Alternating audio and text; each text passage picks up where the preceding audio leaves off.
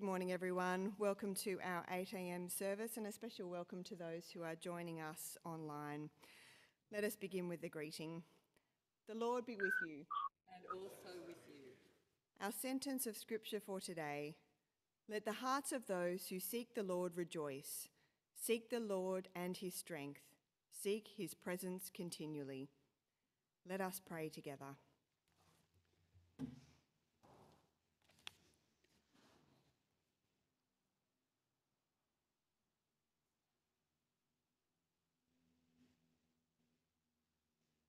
Almighty God, to whom all hearts are open, all desires known, and from whom no secrets are hidden, cleanse the thoughts of our hearts by the inspiration of your Holy Spirit, that we may perfectly love you and worthily magnify your holy name through Christ our Lord. Amen. Hear, O Israel, the Lord our God, the Lord is one. You shall love the Lord your God with all your heart and with all your soul and with all your mind and with all your strength. Jesus said, This is the great and first commandment, and a second is like it. You shall love your neighbour as yourself. Lord, have mercy on us and write your law in our hearts by your Holy Spirit. Let us pray. Almighty and eternal God, grant that we may grow in faith, hope, and love, and that we may obtain what you promised. Make us love what you command. Through Jesus Christ our Lord. Amen. Please be seated for our Bible readings.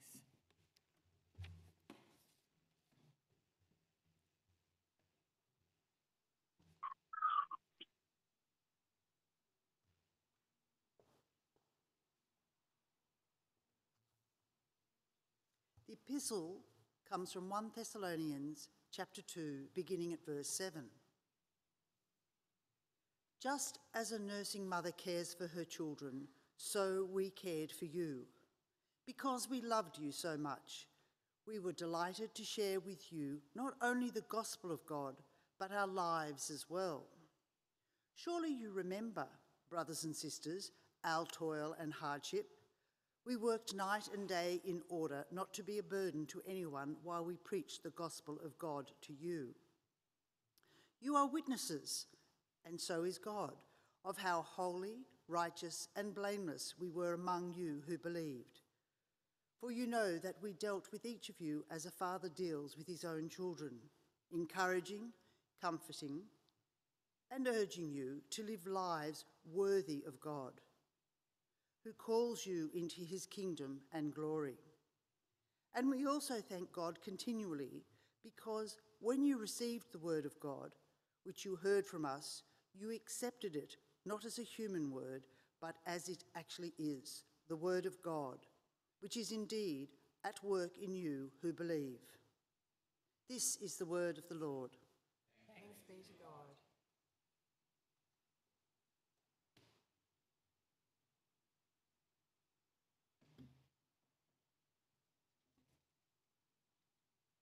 Our psalm reading for today is Psalm 131, uh, a short psalm that reminds us of the greatness of God, that He is God and we are not.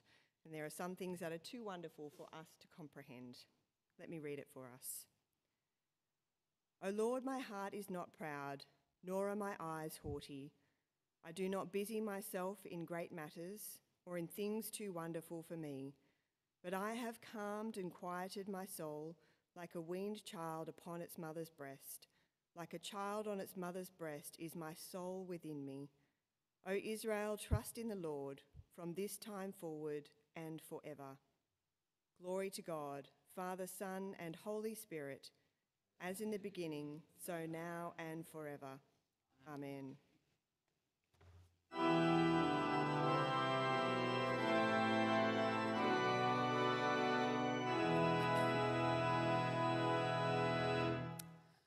Gospel of our Lord Jesus Christ according to John chapter 12, beginning at the first verse.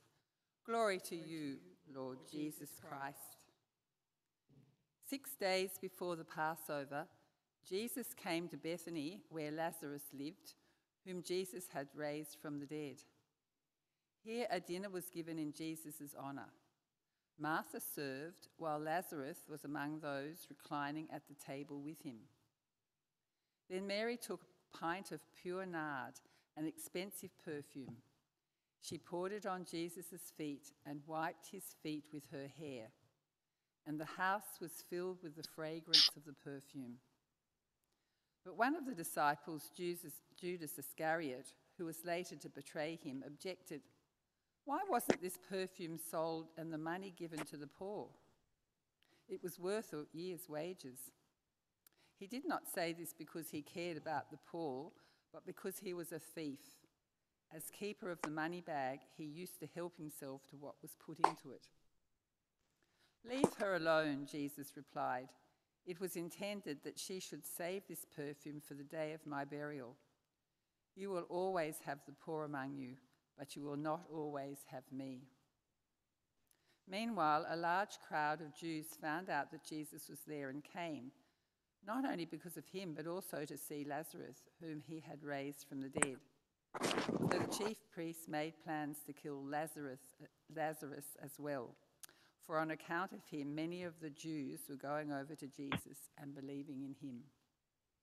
This is the gospel of the Lord. Praise to you, Lord Jesus Christ.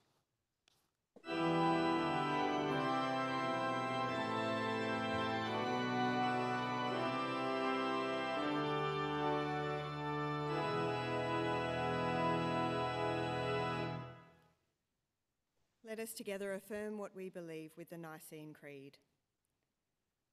We believe in one God, the Father, the Almighty, maker of heaven and earth, of all that is seen and unseen. We believe in one Lord Jesus Christ, the only Son of God, eternally begotten of the Father, God from God, light from light, true God from true God, begotten, not made of one being with the Father. Through him all things were made. For us and for our salvation, he came down from heaven, was incarnate of the Holy Spirit and the Virgin Mary, and became truly human. For our sake, he was crucified under Pontius Pilate. He suffered death and was buried. On the third day, he rose again in accordance with the Scriptures. He ascended into heaven and is seated at the right hand of the Father. He will come again in glory to judge the living and the dead, and his kingdom will have no end. We believe in the Holy Spirit, the Lord, the giver of life, who proceeds from the Father and the Son, who with the Father and the Son is worshipped and glorified, who has spoken through the prophets. We believe in one holy Catholic and Apostolic Church. We acknowledge one baptism for the forgiveness of sins. We look for the resurrection of the dead and the life of the world to come. Amen. Amen. Please be seated, everyone. It's great to see you here today. I somewhat expected we might have a smaller congregation given the weather. Perhaps we have some more online. Welcome to you as well. Um, it's wonderful to gather here in the name of the Lord Jesus Christ. In case we haven't met, my name's Andrew Schmidt, and the people leading the service with me are Emma, Philippa, and Jim.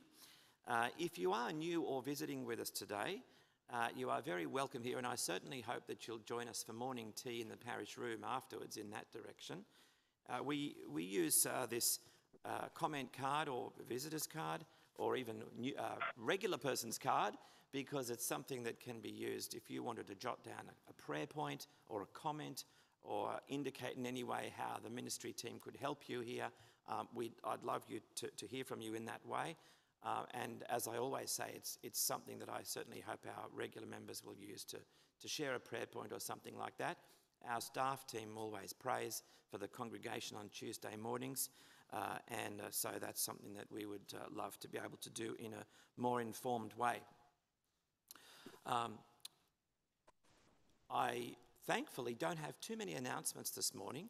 Uh, we've come through a busy time, and there, there are, there's only one really uh, significant uh, calendar event in November, uh, apart from our regular Sunday services. That's our Women's Christmas event, which Emma talked about last week. So the details about that are on the back of the bulletin, and I uh, certainly hope that you'll get your tickets because uh, there's a limited number of them.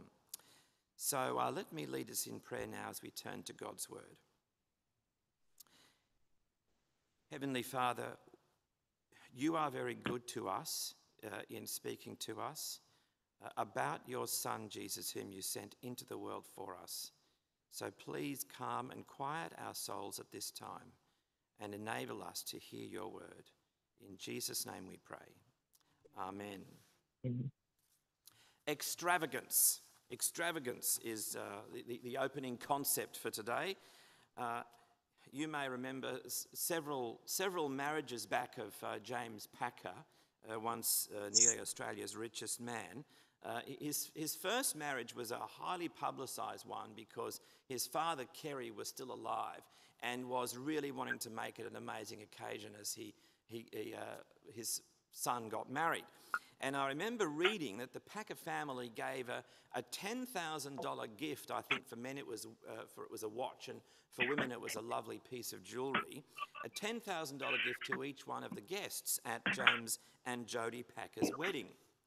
Uh, now, as I recall, um, Catherine and I, who got married about the year before, uh, or maybe a year after, we also gave a present to everyone who attended our wedding. It was a small hexagonal box of sugared almonds. The Packer offering was quite extravagant, wasn't it? People were actually asked not to bring gifts because whatever gift they brought was going to be overshadowed by the gift they received. Uh, extravagance, it, raises an interesting question, doesn't it? You know, when, when is it too extravagant? When should the extravagance be spent on something else? Uh, should the money have been saved, which would have broadcast uh, King Charles's coronation onto the Opera House? Uh, you know, was that going to be too extravagant? Uh, should, should Melbourne have canned their Commonwealth Games? Uh, or, you know, these are the questions about extravagance. When is it appropriate? Well, uh, this question about the appropriateness of extravagance was prompted by a memorable act of devotion which was performed on Jesus a few days before his death. We've seen in recent weeks how, as Jesus got closer to Jerusalem, essentially he was in more and more danger. And he's been coming and going, making strategic withdrawals from Jerusalem because of opposition. But now, at the start of chapter 12, Jesus returned again to Bethany near Jerusalem, coming back into harm's way for the last time. Because you see, this is only a week before his death. Even though it's only halfway through John's Gospel, it's only a week before Jesus' death. His friends don't realise that. They feel, they believe he's simply coming to the Passover celebration and that Jesus wouldn't be deterred from going to Jerusalem by opposition because he wants to be there for the Passover. Now, as was his practice, he stayed in Bethany, this little town a couple of kilometres out from Jerusalem, and they made a dinner there in his honour. Now, Lazarus, as you know, was a, he was a prominent member of the Bethany community, and so I suppose it's not surprising that he was invited to the dinner. But, uh, but what a great detail that is, isn't it? That Lazarus, the man Jesus had raised from the dead, was there reclining at the table with him. It just brings home the stunning nature of the miracle that Jesus had performed, that the man that he'd called out of his grave was now there dining with him. Now, it was during the dinner that Lazarus' sister Mary performed this memorable act of devotion. Uh, it obviously wasn't a spur of the moment thing. She, she decided, she had decided she would do it. It was something she wanted to do for Jesus. She came with an extremely expensive bottle of perfume, and while they're at the table, she poured the bottle out on Jesus' feet. Matthew and Mark also say that she poured some of it on his head. John tells us that the house was filled with the fragrance. Sounds like John's own experience there, doesn't it? He would have been at the dinner. This is an extravagant gesture of devotion, isn't it? It used up all this expensive perfume in one go. And once the beautiful aroma, which filled the house, had dissipated, well, there would have been nothing left. I was once uh, at a house when a friend of a friend set up a sparkler bomb. He had been to the shops and he'd bought about $200 worth of sparklers, which seemed like an enormous amount of money to me in those days. It was the days of working part time jobs, and it would have taken me many hours to earn that amount of money. Well, he strapped all of these sparklers together in a sort of cylindrical shape and he used one of them as a wick. He placed it in a sort of a slot that he'd created in the ground. He lit up the wick, stepped back, and we saw the sparkler bomb go off. Now, uh, if, you've, if you've ever seen one go off, what happens is there's this amazing shaft of sparkly fire that just goes up into the sky for, oh, it was 10 seconds maybe. It's faster than a normal sparkler will burn just on its own. Now, we all loved watching this sparkler bomb, and then it was over. And my friend of a friend had literally taken 10 seconds to burn $200. I'm sure that the aroma of Mary's perfume, which was much, much more valuable than the $200, I'm sure it would have remained longer than 10 seconds, would have filled the house for quite some time. But the analogy is that this was an expensive gesture that was all over very quickly. And I guess that's the way with extravagant gestures. It, and, and that's why it raises the question about whether it's justified. And, and that's why Mary's gesture led to what actually is quite a complex ethical discussion. Judas opened up the debate. He said, Listen, what a waste Think how much we could have raised for the poor if we'd sold this perfume. Now, there's a superficial correctness to his argument, isn't there? The perfume is a luxury item. It's the sort of thing that you would buy from that posh and eerily quiet level at Bondi Junction, Westfield, where shops like Prada are located. In our money, it's worth thousands or even tens of thousands of dollars. You could do a lot of good with it. Why use it up on this extravagant gesture? Uh, now, John, uh, who of course was one of the 12 apostles with Judas, lets us in on the hypocrisy behind Judas's question. Judas would have definitely liked to see the proceeds of selling that perfume in the disciples' money bag because he used to help himself to what was in there. also think to And that reminds us that ethical decisions are not made in an ivory tower. They're made amongst real people who have all sorts of good and bad motivations. People talk about virtue signaling these days, which is a, a form of hypocrisy, which is all about showing how good you are while not actually caring for the people you claim to care about. Judas's words here just go to show you that virtue signaling is as old as the human race. But Jesus doesn't call out Judas's virtue signaling, does he? He, he? he actually offers an answer to the question. And what I want you to notice is that Jesus makes it about himself. Have a look there in verse 8. Jesus says, You will always have the poor among you, but you will not always have me. Now, normally we can't stand a person who makes everything about themselves, can we?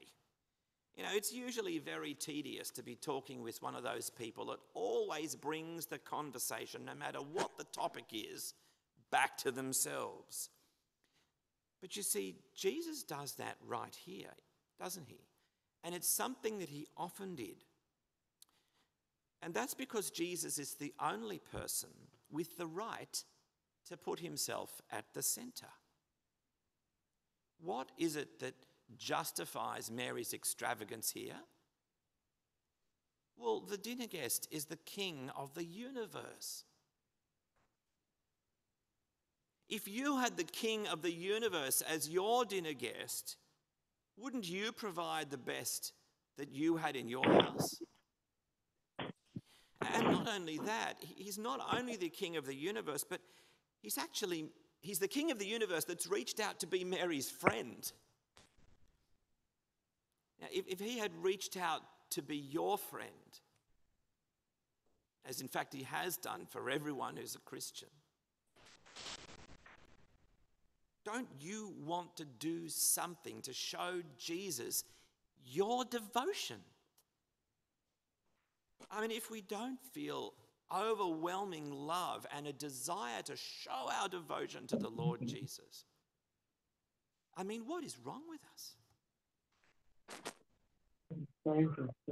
That's not even to mention the significant time this is all taking place, a week before Jesus will die to save the world.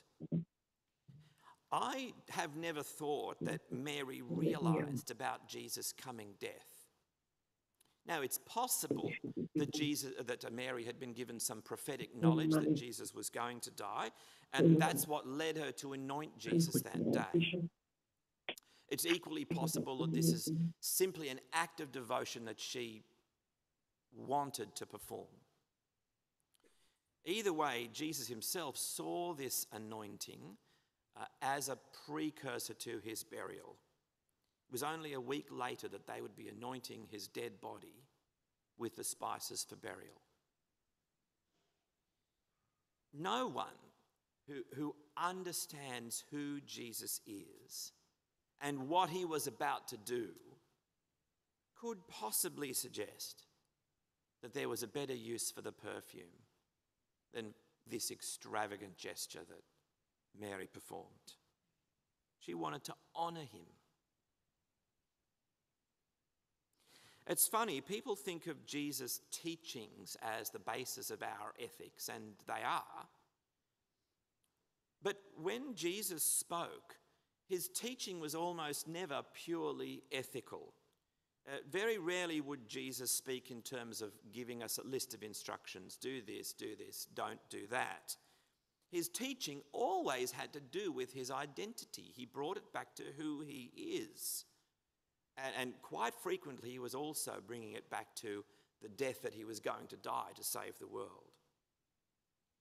And Jesus expected the worship and the devotion and the adoration that was due to him as the Son of God and as the Saviour.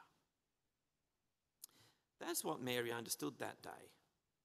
that it's not enough just to follow Jesus' teachings. It's also necessary to love and to adore and to worship him. If we're not worshipping Jesus, we're not obeying his teachings anyway. And worshipping him is, is really the only way we're going to shape our deeds to be like his. Uh, nevertheless, we do need to grapple with the, the teaching that Jesus alluded to that day. Uh, in a way, he seems to sideline the teaching about helping the poor, doesn't he? He said, Well, you can do that anytime, but you don't always have me. However, I want us to, to know today that Jesus would not, would not sideline that, that teaching about the poor because it's actually his Father's word. He quotes the Old Testament here from Deuteronomy 15:11, where it says, There will always be poor in the land. Therefore, I command you to be open handed toward your fellow Israelites who are poor and needy. This duty to be open handed to the poor, this to Jesus would have been a sacred duty. This was a word from his Father God. So don't think that Jesus would have been sidelining the word. It was only because of the ex- extraordinary significance of the moment that, that he said what he said. But the duty to help the poor is a real duty of every person who follows Jesus. And it should be on our hearts. So, how are you helping and how will you help? Uh, in asking this question, I just want to name the fact that uh, people are talking about a cost of living crisis here in Australia at the moment, and I believe it is real, and I believe it's impacting even in our relatively uh, well off part of the, of the world. Uh, this crisis is impacting not only the people you traditionally think of as the poor, uh, but also people with mortgages uh, and, and many people who are just, you know, middle class people who are doing it really tough in the current environment. How can we help? Uh, I haven't thought of how to solve the crisis, uh, but I want to say that the more we know real people in real situations, the better we might know how we're able to help. Uh, we shouldn't think that we're helping merely by saying that, oh, the government should do such and such, or this other person should do such and such with their money. Uh, in, in, fact, in a way, that's what Judas did, didn't it? Uh, Giving to a, a charity like Anglicare or St Vinny's is a good thing to do, though it doesn't usually lead to relationship with the person that you're helping. Helping a person in relationship is the best sort of help.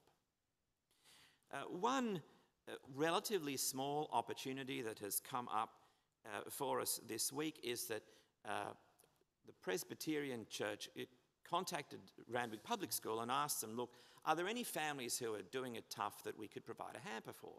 Well, the school has come back and said, look, we know of four families that we could, that we could help.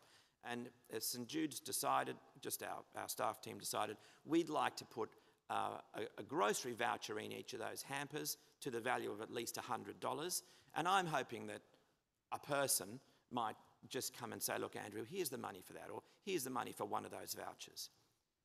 Now, look, that's, that is a relatively small thing that, that we can do. There, there are many, many more things we can do from that than that, but at least there's something where someone in the school community is going to receive something from the church uh, that, that they know is, is with, come with the love of Christ. Uh, it's, it's interesting that we're talking here about a grand gesture that Mary did for Jesus. There's a place for grand gestures, but often it's not grand gestures, but the ongoing support that happens in a relationship. I remember uh, listening to uh, some marriage advice from a marriage course that we've run here at St Jude's a few times. Um, and they say, look, if your marriage is in trouble, don't do the grand gesture. Don't, don't go to Paris for a fortnight and don't do that. It's just the little things every day which make the difference. Uh, and for those around us, it's the little things every day. It's, it's not the grand gestures, but it's the love and the care in relationship. Now, I know that what I've said here on the cost of living crisis is, is minuscule, isn't it? It's minuscule. Uh, but it's helping people in relationship, uh, which is profoundly important and Christian. And if you can help out with those vouchers, talk to me at the door. Well, meanwhile, the, the tension in, uh, in this story about Jesus as he moves towards the cross just continues to mount, doesn't it? Um, and we read in the last few verses of today's passage how the sheer existence of Lazarus was just infuriating the leadership. Uh, Lazarus was literally living proof about the astonishing power of Jesus. Uh, and as a result of that, uh, the Jewish leadership were plotting to kill Lazarus too. We never hear about how that plot uh, went. But we do know that the plot against Jesus was destined to be carried out only six days on from this time. Well, to conclude for this morning, uh, first of all, I think it's important just that this story is lodged in our minds that Mary did perform this extravagant act of devotion towards Jesus and that Jesus commended it because he is the Lord. Deserves it. Second, because Jesus is the Lord, he expects our devotion. It's not only good deeds that he wants from us, it's actually the devotion that treats him as my Lord and God. How do you show your devotion? Uh, I think an essential part of the devotion that he wants from us is prayer. But how can you be more like Mary, who just had this welling up desire to show her devotion to Jesus because she loved him for who he is and that he is the Saviour? Third of all, the command to help the poor is real and it was never abolished and it's highly relevant at this time. We need to work out ways of genuinely helping people, ways that go beyond just agitating for somebody else to do something, and which really do help others as we have opportunity. Let's pray. Father, we feel profoundly inadequate to show the sort of devotion that your Son Jesus deserves and to help those around us in what is a difficult time. We ask, please, for profound wisdom, selflessness, uh, uh, courage, and generosity, uh, that you might help us by your Spirit to attempt these things. In Jesus' name, amen.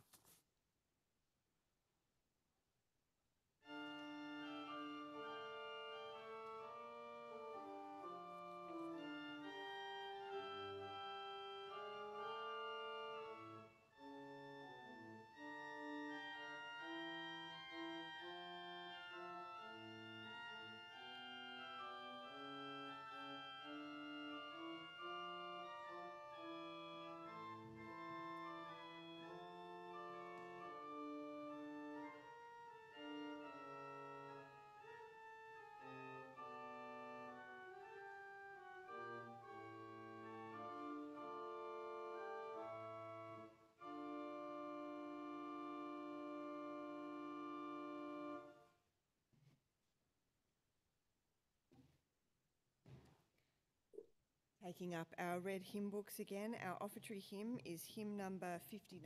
Let us stand and sing together.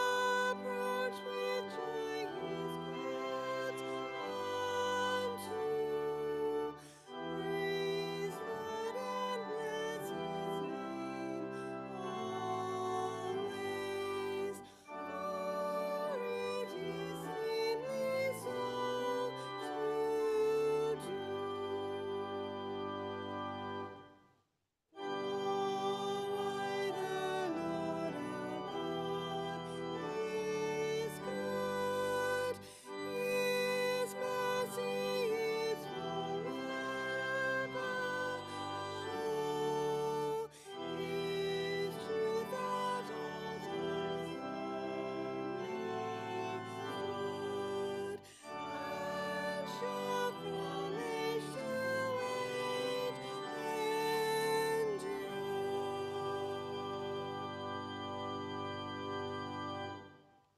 come now to a time of prayer. Let us pray for all people and the church throughout the world.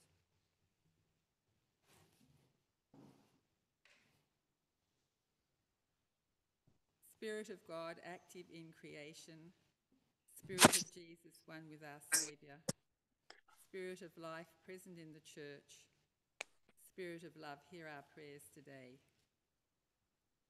God of truth, we thank you for the provision of Moore College as it trains men and women for a lifetime of discipleship and disciple making. We ask you, Lord, that both students and staff will grow in their knowledge of you and in humility and service towards others.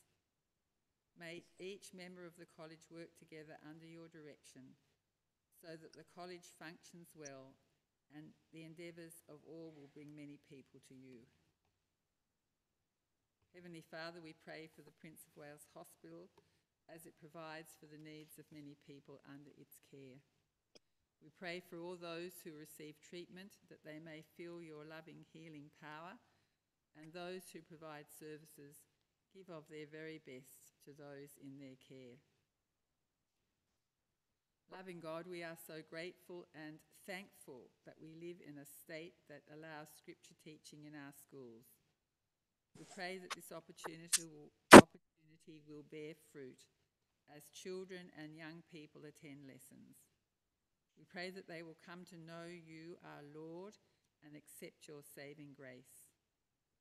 Please support and encourage all scripture teachers as they prepare and deliver lessons each week. Help them to know how appreciated they are because of the life saving mission teaching they are providing. A prayer for the Middle East. God of all nations, whose kingdom rules over all, have mercy on our broken and divided world. In the land of Abraham, Isaac, and Jacob, bring peace in our time, O Lord. In the land of our Saviour's birth, banish the spirit that makes for war. Please give wisdom to those you have placed in authority. Rescue the captives, shield those in danger, and bind up the broken-hearted. For those fighting for justice, may they be strengthened by your grace. For those walking in darkness, may the light of your face shine upon them. We especially pray for our brothers and sisters in Christ who have been caught in the crossfire in both Israel and Gaza. O Lord, preserve life and shelter for those who own and proclaim your name in those lands. Above all, we pray that the peoples of Israel and the Middle East will find everlasting hope in you and in the land of your Son's redeeming death and resurrection. Turn hearts to look to the Saviour and live. Bring peace, Lord, while we wait for the Christ's coming, and rule where all people will beat their swords into ploughshares when nations will not take up sword against nation, and when every tear will be wiped away by the Prince of Peace and Lord of all. Turn to our yellow sheet.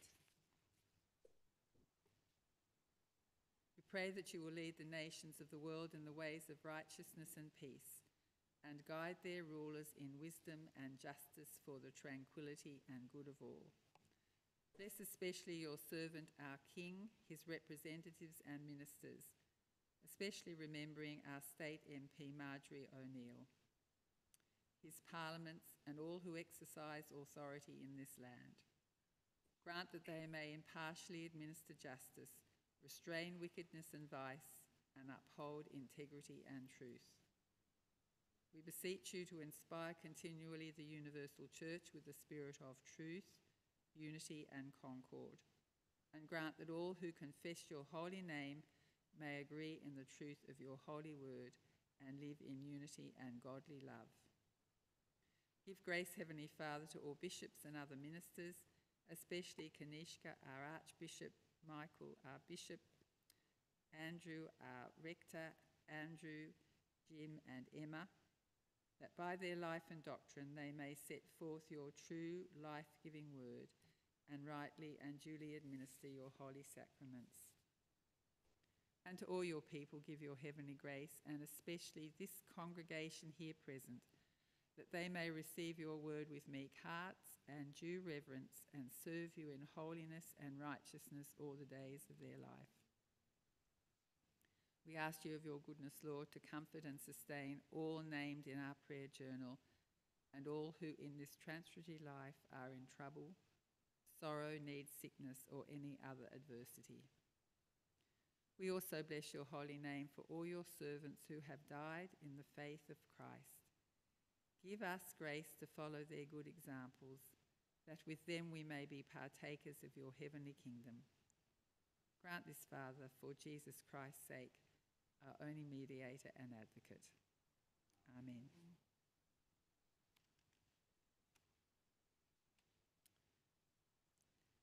You who truly and earnestly repent of your sins and are in love and charity with your neighbours and intend to lead a new life following the commandments of God and walking in his holy ways, draw near with faith and take this holy sacrament to strengthen and comfort you.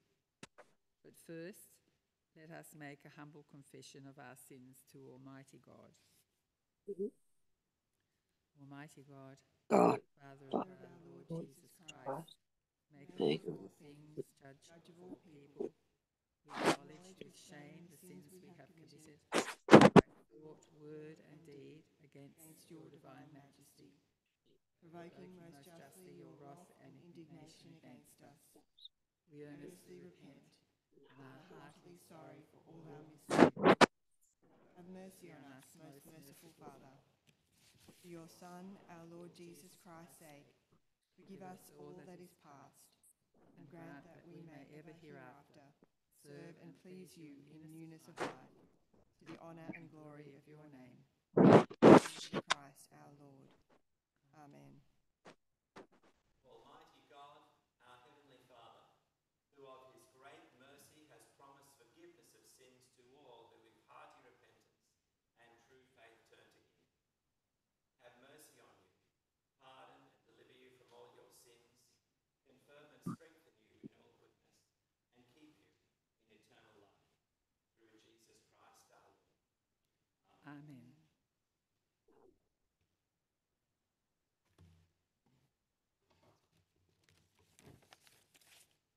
The next hymn is number 584, Just As I Am, Without One Plea. Please stand and sing.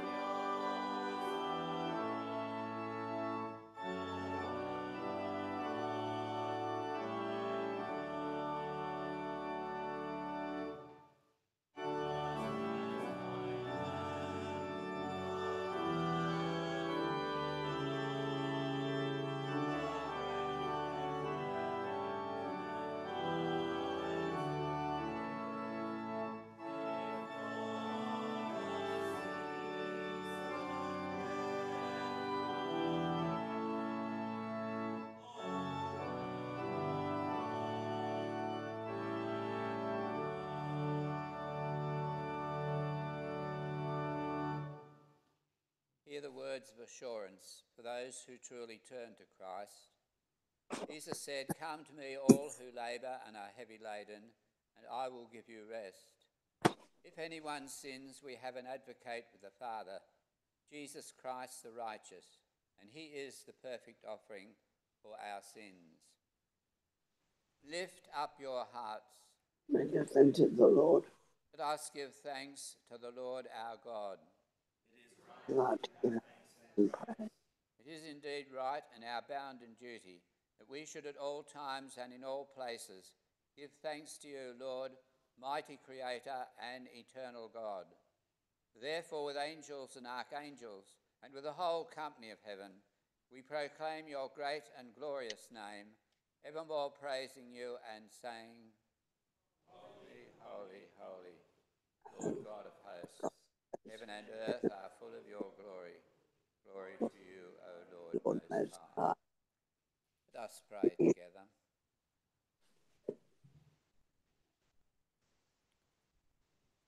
We do not presume to come to your table, merciful Lord, trusting in our own righteousness, but in your manifold and great mercies.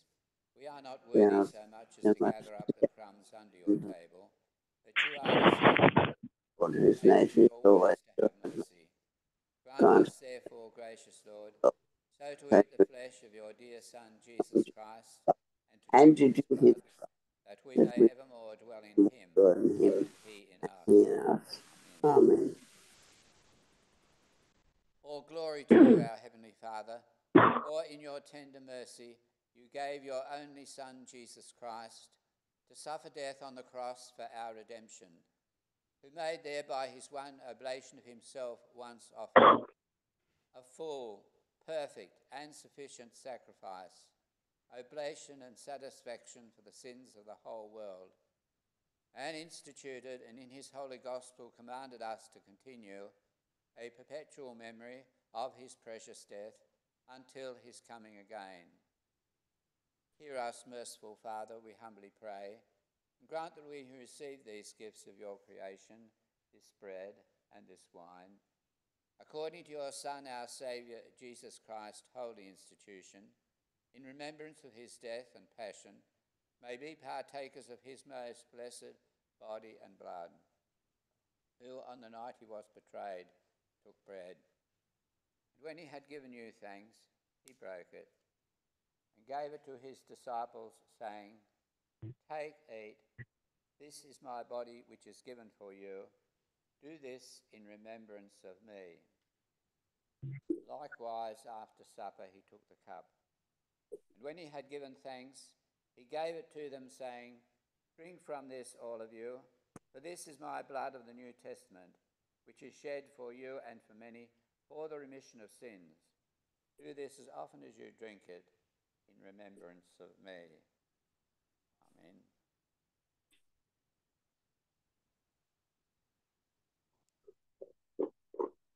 Ask those online to join with me as we partake of the body of Christ.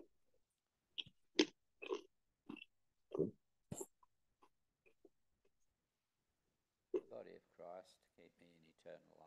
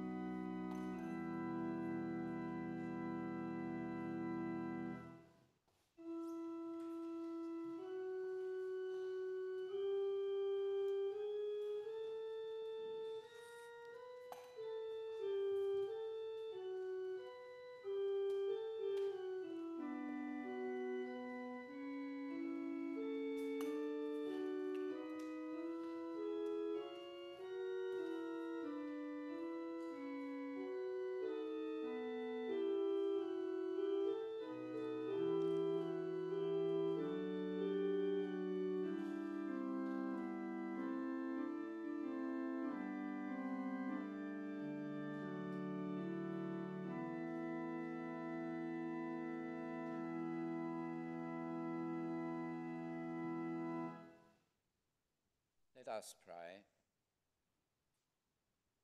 As our Saviour Christ has taught us, we are confident to pray.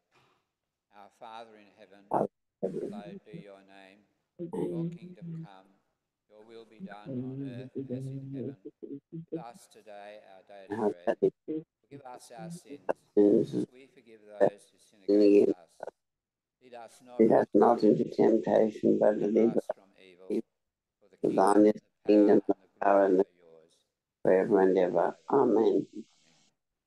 Almighty and ever living God, we heartily thank you that you graciously feed us, who have duly received these holy mysteries, with the spiritual food of the most precious body and blood of your Son, our Saviour, Jesus Christ, and thus assure us of your favour and goodness towards us, and that we are true members of the mystical body of your Son, the blessed company of all faithful people, and also heirs through hope of your eternal kingdom by the merits of the most precious death and passion of your dear Son. And we humbly beseech thee, Heavenly Father, so to assist us with your grace, that we may continue in that holy fellowship and do all such good works as you have prepared for us to walk in. Through Jesus Christ our Lord, to whom with you and the Holy Spirit be all honour and glory, world without end. Amen. Amen.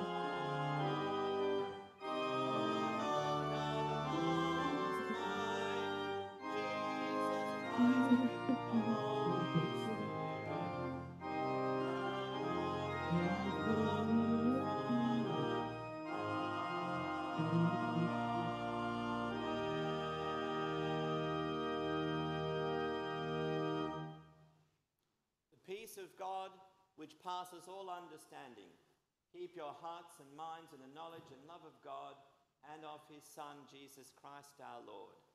The blessing of God Almighty, the Father, the Son, and the Holy Spirit be amongst you and remain with you always.